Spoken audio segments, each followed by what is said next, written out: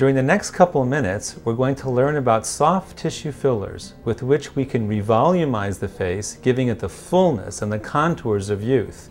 This is the room where that kind of magic occurs. Like it or not, one of the facts of aging is that our face will lose some volume, meaning it doesn't look as full as it used to when we were young. You get maybe a kind of a, a hollow look in your cheeks or under your eyes. That's the bad news.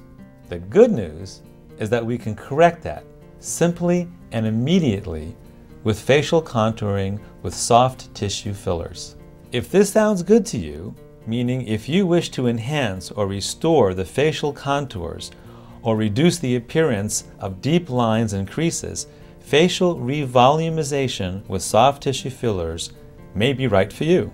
Facial revolumization utilizing these soft tissue fillers such as Juvederm, Radiesse, and Restylane can soften deep facial creases and wrinkles, enhance shallow contours, and add fullness to the cheeks, to the lips, around the eyes, restoring a smoother, more youthful looking appearance.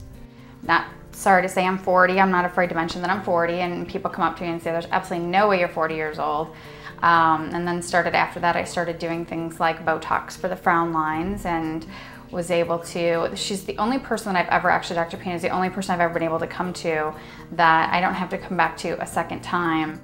During your initial consultation, we will help you evaluate the unique characteristics of your facial features and help you select the best treatment option based on your aesthetic goals. The injection process itself is very fast, requires only a few minutes, and is remarkably comfortable. Once the procedure has been completed, you will be free to immediately return to your normal activities. The positive effects from these treatments can last from one all the way up to two years. Here's the bottom line.